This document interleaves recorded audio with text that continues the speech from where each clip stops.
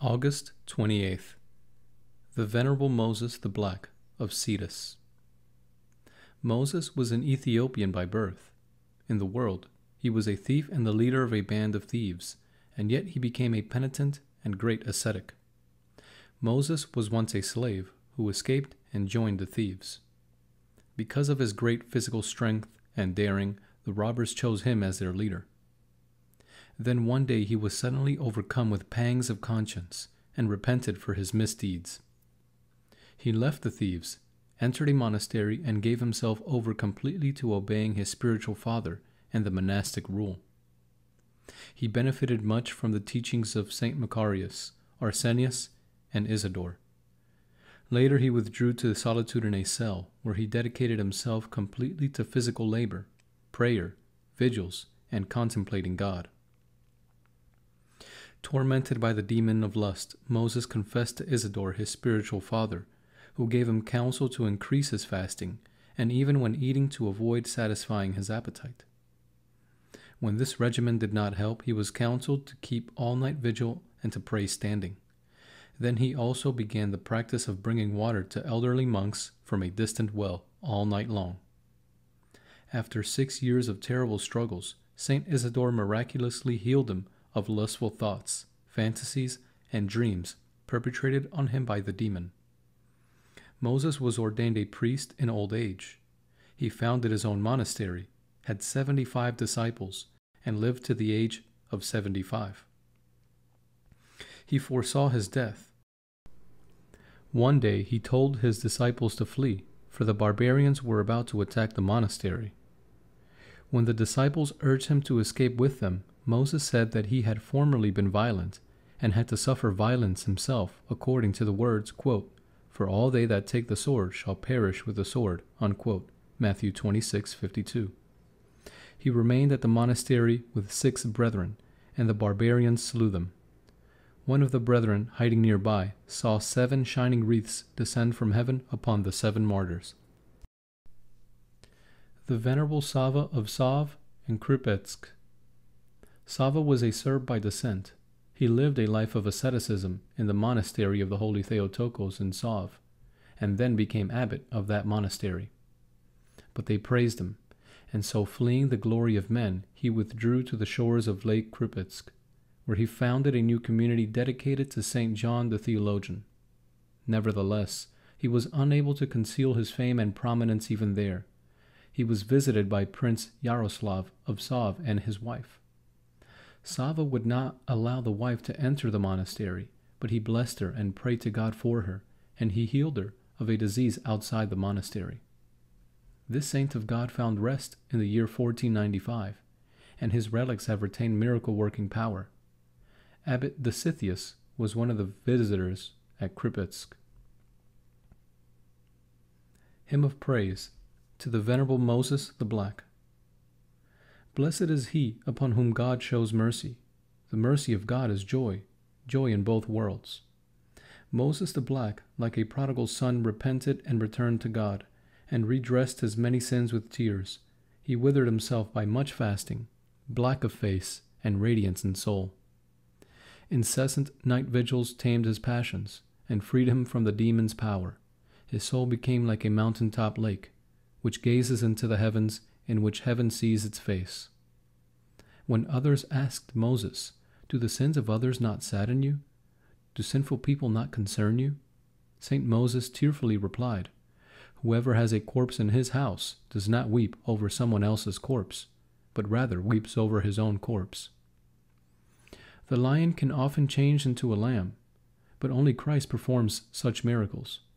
Moses was a lion in the mountains, yet became a gentle lamb. By his holy prayers, may God grant salvation to us as well. Reflection A true Christian avoids the praise of men, and not only avoids it, but has true fear of it. Saint Sava of Sav left the office of abbot, and the monastery itself, and the good brotherhood of the monastery, fleeing to a desolate place to escape the praise of men, for the love of praise robs our hearts a devout prince, upon hearing of the ascesis of St. Moses the Black, took his retinue into the desert to see him. Moses learned that the prince was coming to his monastery and quickly ran to hide somewhere. But he unexpectedly encountered the high ranking visitors. Where is the cell of Abba Moses? the servants of the prince asked, not suspecting that this was Moses himself.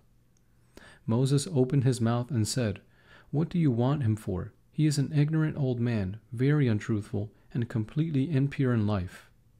Hearing this, the visitors were astonished, but continued on. When they arrived at his cell, they asked for the elder, but the monk said he was not there. The visitors told them what the monk on the road had said. The monks were dismayed and asked him, What did this old man look like? The visitors answered that he was very dark skinned, tall, and dressed miserably. And the monks cried out loudly, But that was Abba Moses himself. This incident was of great spiritual benefit to the prince. He returned home rejoicing. Contemplation. Contemplate the nobility of David. 2 Samuel 1. 1. How a messenger arrived and told David of the deaths of Saul and Jonathan, thinking to receive a reward. 2. How David bitterly mourned and lamented for Saul, who had wished nothing but death for David. Homily on the Form of the Messiah. Quote, and we saw that he had neither form nor comeliness. Unquote. Isaiah 53 2. According to the Greek Septuagint. The prophet speaks this about Christ the Lord as a man. He had neither form nor comeliness. How was it that he, who gave form to every created thing, created the beautiful angels of heaven and all the beauty of the universe, had no form or comeliness? Brethren, this need not confuse you. He was able to appear in any manner he chose. He did not want to appear in angelic beauty, or in royal power, or in luxurious wealth. He who enters a house of sorrow does not dress in the most beautiful clothes, nor does a doctor dress in his best clothes when he visits the gravely ill. In coming to earth, the Lord entered a house of sorrow. He entered a hospital. The body is the garment of the soul. He dressed in a simple garment to impress us by the power of his spirit, not by his dress. We do not know exactly what his appearance was. According to tradition, his face was swarthy and his hair was of a chestnut color.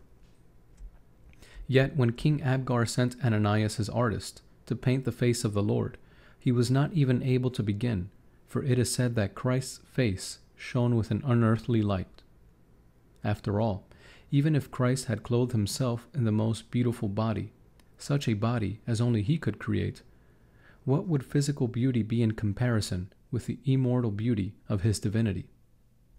The greatest earthly beauty is merely a shadow of the heavenly beauty.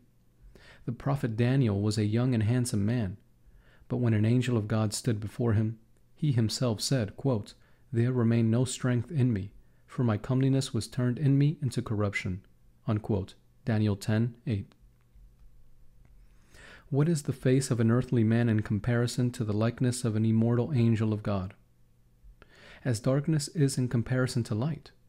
Therefore, the prophet, beholding Christ the immortal King in the flesh of man, and comparing his earthly appearance with his immortal glory, had to cry out, He had neither form nor comeliness. O most gentle Lord, who for our sake was clothed in our miserable physical garment to serve us and keep us from fear. Glory to thee. To thee be glory and praise forever. Amen. In the name of the Father, the Son, and the Holy Spirit. Amen.